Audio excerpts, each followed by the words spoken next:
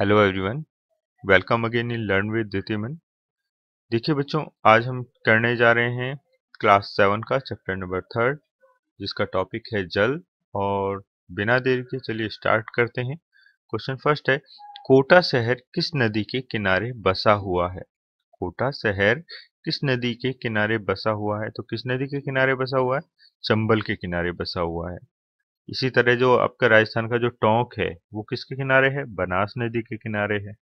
उदयपुर है, वो किस नदी के किनारे है? वो आयड़ आयड़ नदी के किनारे बसा हुआ है ना? टोंक किसके किनारे बनास के किनारे, उदयपुर आयड़ के किनारे और आपका जो कोटा है, वो चंबल के किनारे बसा हुआ है। नेक्स्ट देखिए, दिल्ली शहर किस नदी के किनारे बसा हुआ है? देखिए, जो बड़े शहर होते हैं, जो महानगर होते हैं वो सामान्य तौर पर या तो किसी नदी के किनारे या किसी महासागर के किनारे या फिर झील के आसपास विकसित होते हैं। क्यों? क्योंकि जल स्रोतों के आसपास ही जो मानव बस्ती है वो अच्छे से पनप पाती है। तो चलिए देखते हैं, दिल्ली शहर किसके किनारे बसा हुआ है? यमुना के किनारे। और भी जो शहर हैं, जैसे इंपॉर्टेंस रखते हैं, दिल्ली जो है यमुना के किनारे हम देख चुके हैं।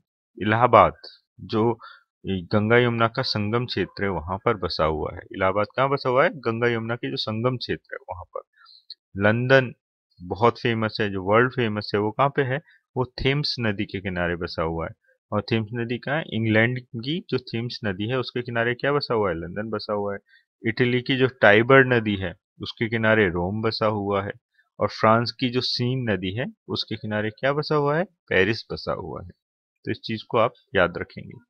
नेक्स्ट क्वेश्चन देखिए। चेन्नई किस महासागर के तट पर बसा हुआ है? चेन्नई किस महासागर के तट पर बसा हुआ है? तो हम सभी जानते हैं किस महासागर के तट पे है? हिंद महासागर के तट पे। देखिए, और भी जो शहर हैं, जैसे मुंबई है, वो हिंद महासागर के तट पे चेन्नई हम देख चुके हैं हिंद महासागर के तट पे न्यूयॉर्क जो है न्यूयॉर्क सिटी है, वो कहाँ पे है? अटलांटिक महासागर के तट पे है। बीजिंग प्रशांत महासागर के तट पे है। चीन की जो है है ना? सिंगापुर प्रशांत महासागर के तट पे ये ये भी सिंगापुर से है है ना? तो इन चीज़ों को आप बिल्कुल निश्चित रूप से याद रखेंगे।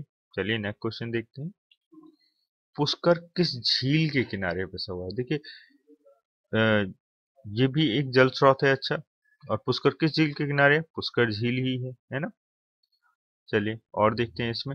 श्रीनगर कौन सी झील के किनारे बसा हुआ है? डल झील के किनारे। ये क्वेश्चन कई बार रिपीट भी हुआ है। तो इस चीज़ का ध्यान रखिएगा। श्रीनगर कहाँ पे बसा हुआ है? डल झील के किनारे, शिकागो। कहाँ है? मिशिगन। मिशिगन डुलूथ सुपीरियर के किनारे, है ना? और बफेलो इरी के किनारे। इस सुपीरियर झील को याद है ना? कौन सी है ये? ये आपकी ताजे पानी की सबसे बड़ी झील है है ना? चलिए नेक्स्ट क्वेश्चन देखिए। पृथ्वी पर मौजूद जल का कितना प्रतिशत भाग पीने योग्य है? पृथ्वी पर मौजूद जल का कितना प्रतिशत भाग पीने योग्य है? तो कितने योग्य है? 2.5 परसेंट। दो प्रतिशत जो जल है, वो पीने योग्य है और उसमें भी सबसे बड़ी समस्या यह है कि उसमें जो अधिकांश जो भाग है, वो ध्रुवों पर और पर्वतों पर बर्फ़ के रूप में जमा रहता है। तो यानी वास्तविक रूप में तो बहुत कम जल हमारे पास अवेलेबल होता है। और हमारे पास स्रोत क्या है? नदियाँ हैं, झीलें हैं, बाँध, तालाब, कुएँ, एनिकट, ये चीज़ें क्या हैं? ये हमारे लिए सोर्स का काम करते हैं। नेक्स्ट क्वेश्चन देखिए। विश्व की सबसे खारे पानी की झील कौन सी है? विश्व की सबसे खारे पानी की झील कौन सी है?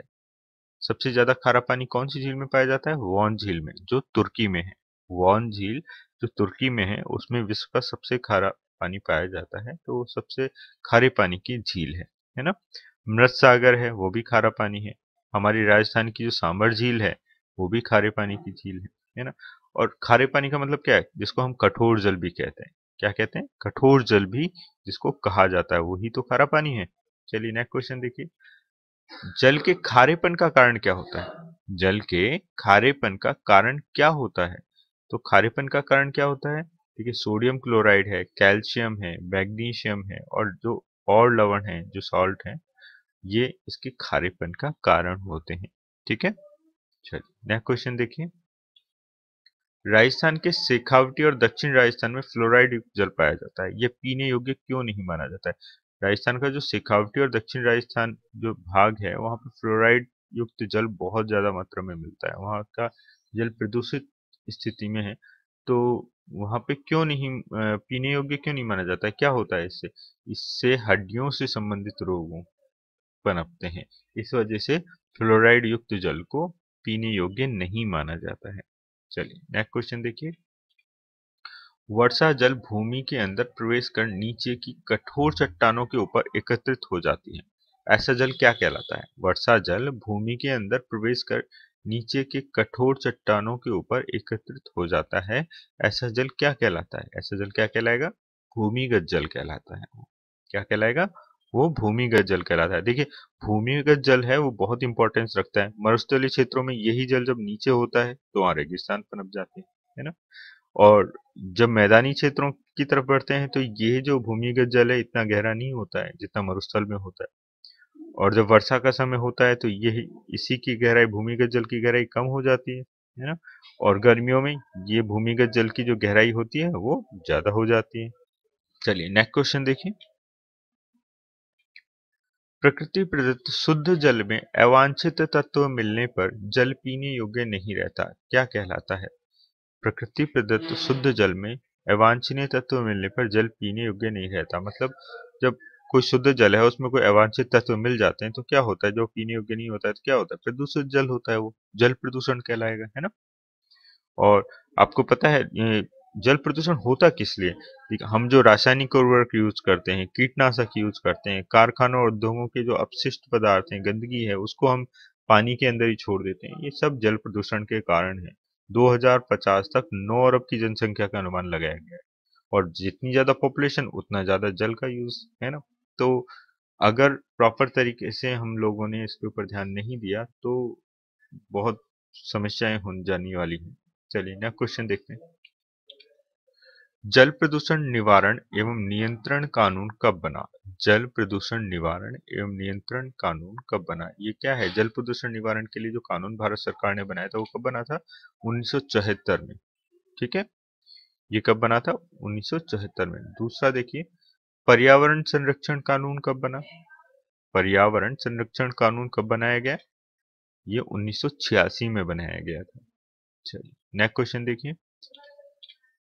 गंगा नदी को साफ़ करने के लिए चलाई गई भारत सरकार योजनाओं के क्या नाम है? गंगा नदी को साफ़ करने के लिए चलाई गई भारत सरकार योजनाओं के क्या नाम है? देखिए बहुत ज़्यादा न्यूज़ में रहा है तो ये आपको निश्चित रूप से याद होना चाहिए।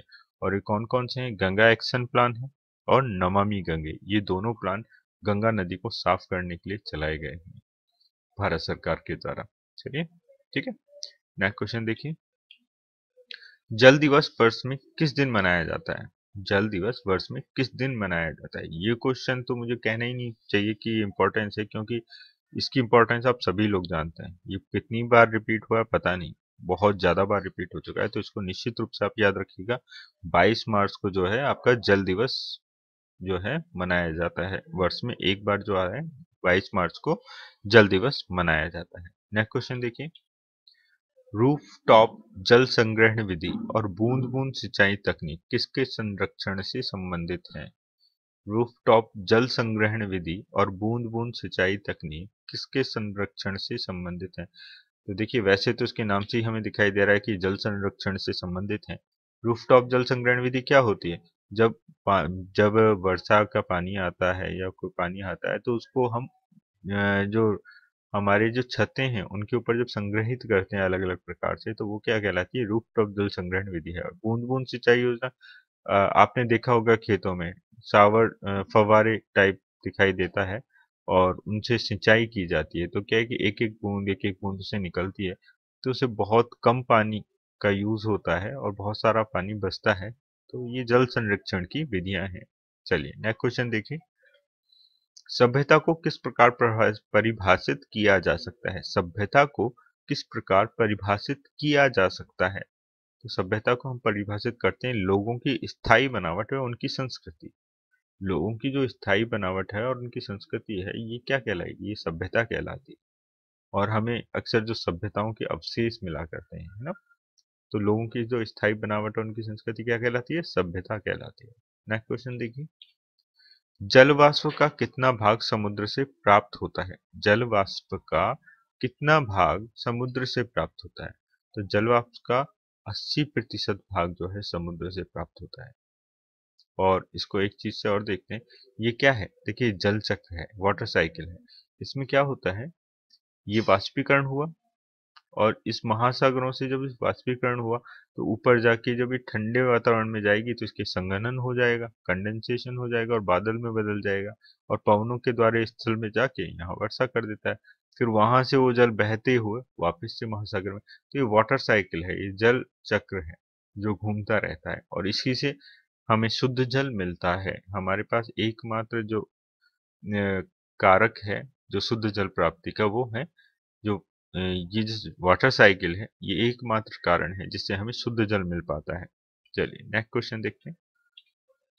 वाष्पीकरण व वाष्पोत्सर्जन में क्या अंतर है? देखिए ये इंपॉर्टेंस रखता है ये शब्द बहुत इंपॉर्टेंस रखते हैं क्योंकि कई बार ये कंफ्यूजन की वजह से ए, हम गलत टिक कर बैठते हैं आंसर्स पे तो इसको अच्छे से देख लीजिए। वाष्पीकरण व वाष्पोत्सर्जन में क्या अंतर है?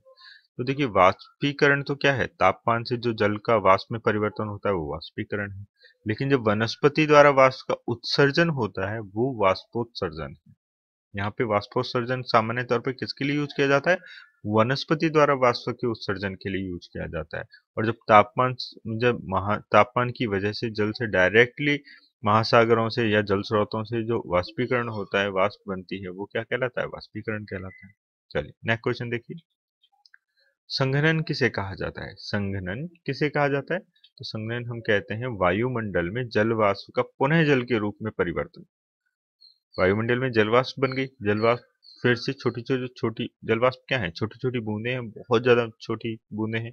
वो जब इकट्ठी होती हैं तो क्या हो जाता है? वो थोड़ी सी बड़ी बूंदों में परिवर्तित हो जाती है, जिसको हम ओस कह सकते हैं, तुषार कह देते हैं, कोहरा, बादल, है ना? इन रूपों में वो परिवर्तन हो जाता है। तो ये क्या कहलाएगा? ये संघनन कहलाता है। नेक्स्ट क्वेश्चन देखिए। ब्लू गोल्ड या गोल्ड ऑफ़ फ्यूचर किसे कहा जाता है? ब्लू गोल्ड या गोल्ड ऑफ़ फ्यूचर किसे कहा जाता है? तो किसे कहा जाएगा बच्चों? जल को कहा जाता है। जल को क्या कहा जाता है? ब्लू गोल्ड या गोल्ड ऑफ़ फ्यूचर तो इसी के साथ इतने ही फैक्ट इसमें आपके निकले हैं। इसमें जो सबसे इम्पोर्टेंट जो है वो ये है कि कौन सा शहर किस नदी के किनारे बसा हुआ है? ये क्वेश्चन काफ़ी इंपॉर्टेंस रखता है। तो उसके लिए मैंने आपको स्टार्टिंग में बताया भी है। तो याद रखिएगा और मिलते हैं अगले चैप्टर में। तब तक के लिए थैंक यू